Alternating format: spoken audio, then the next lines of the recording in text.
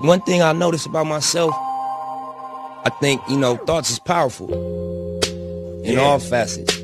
Because even my career, even my life, you know, things end up turning out exactly how I visualized them. Not in this time frame I expected. You always want shit to happen overnight. But I just had clear visions. And, uh, yo, Hi guys, welcome to Edgar Dan's Corner. If you're new here, please activate notification bell. Please like, subscribe, share. Today I'm going to bring you some feeds from Nipsey Hussle. Nipsey Hussle is an American rapper. He's an activist and he's also an entrepreneur. Nipsey Hussle was a hip hop pioneer who was very successful in the hip hop game in the entrepreneurship industry. Nipsey Hussle always strive to help others, you know, strive for greatness, strive for excellence. Nipsey Hussle, strategize your game plan, persist forever. Guys, if you're new here, please like, subscribe, share, activate notification bell for more feeds. Success vibes. one thing I notice about myself, I think, you know, thoughts is powerful in Yeah. all facets. Because even my career, even my life, you know, things end up turning out exactly how I visualized them. Not in this time frame I expected. You always want shit to happen overnight. But I just had clear visions. And uh, your thoughts powerful. That shit come to life if you stick to your script. It's about seeing long term, seeing a vision, understanding that nothing really worthwhile happens overnight, just sticking to your script long enough to make something real happen. The main, most important thing, number one, is you gotta get rid of doubt. Uh, if you got doubt in what you're doing, it's not gonna work. You know what I'm saying? And the way to do that is you have a plan. When you got a plan, it's not like just a pipe dream.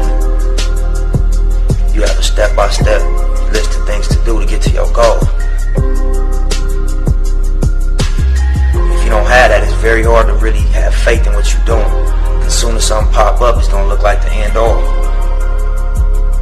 But if you got a game plan of everything you need to do, you know, one thing pop up, well, I still gotta do this, this, this, and that, so this ain't gonna stop me. You know what I'm saying? Another thing pop up, well, shit, I accomplished this two things. I since my last obstacle, I only got three more things to do. Let me keep pushing. Fuck it. Pretty soon you you you attain your goal,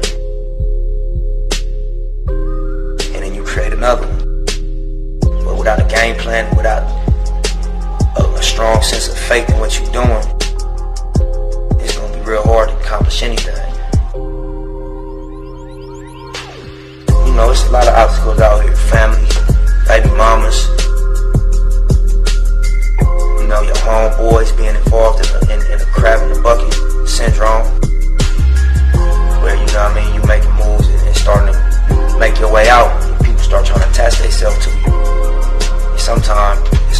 They blow themselves up trying to stop you.